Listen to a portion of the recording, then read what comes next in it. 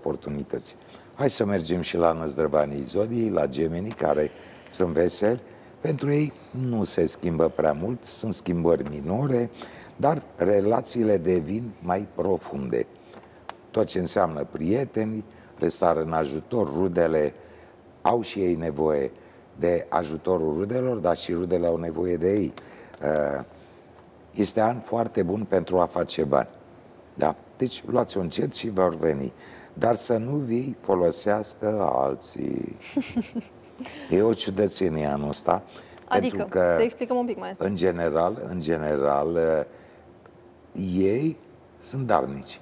Da? Și din banii lor, păi ia și tu și fă ceva, ia și tu și cumpăra aia. Anul ăsta nu mai ține figura. Dacă i-ați dat din buzunar, nu-i mai vedeți. Și nici mulțumiți nu veți fi că cei care îi primesc îi vor folosi pentru ei. Păstrați-vă calmul și uh, încercați să vă stabiliți o sănătate mentală echilibrată. Pentru că voi, acum, dând un an de răsfăț, să zic așa, voți intra într-un tumult, veți intra, nu știu cum, într-un vârtej din ăsta, veți face toate năzdrăvăniile. Iar uh, de multe ori, surmenajul și stresul e la ușă, doar așteaptă să intre peste voi. Deci, petreceți mai mult timp cu familia, renunțați la relațiile toxice. Lidia tot anul v-a spus, n-ați vrut să faceți, acum e ocazia în anul ăsta la uh, Cei care sunt singuri găsesc dragostea unde credeți? Tocmai în cercul de prieteni. Nu departe, deci nu trebuie să alergați prea Foarte mult. interesant. Acolo unde pașteți voi, acolo o să fie. Uh, ceilalți care sunt căsătoriți, au o căsătorie mai veche, au armonie, au liniște, pace, iar gemenii anul ăsta devin undeva, ăsta e atuul lor, devin mai carismatici, dar și mult mai creativi. Ăsta e avantajul lor cu care pornesc în 20, 21 și privirile sunt îndreptate acolo unde e un geamăn, vă dați seama? Adică dacă vedeți că e ceva, hai să mergem și la năzdrăvanii zodiei, la gemenii care sunt veseli, pentru ei nu se schimbă prea mult, sunt schimbări minore, dar relațiile devin mai profunde. Tot ce înseamnă prieteni, le sar în ajutor, rudele au și ei nevoie de ajutorul rudelor, dar și rudele au nevoie de ei. Uh, este an foarte bun pentru a face bani. Da? Deci luați-o încet și vor veni.